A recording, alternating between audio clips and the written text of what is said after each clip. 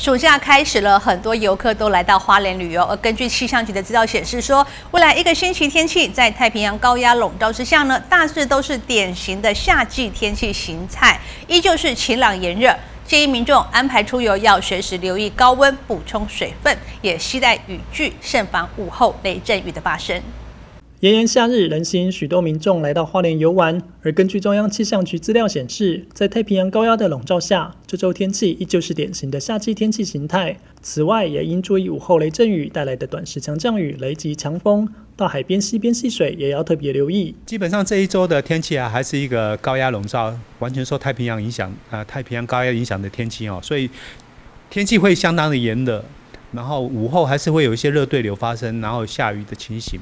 不过目前看起来天气，呃，太平洋高压在呃星期六二十五号的时候啊，大概会有稍微减退、东退一点点的情形的。所以基本上二十六号，呃，整个花莲看起来雨势会比较大。然后也是午后啦，就是雨雨午午后的雨势会比较大一点点，啊，礼拜天大概又恢复比较呃正常的，就是比较偏向于午后局部的雷阵雨，所以基本上从资料来看呢，从今天到下礼拜一，基本上都是一个高温炎的，所以如果在户外。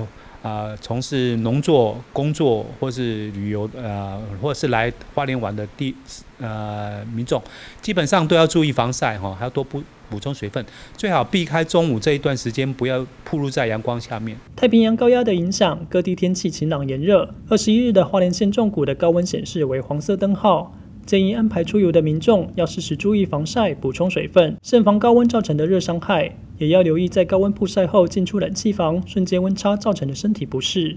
记者蒋邦彦华联市报道。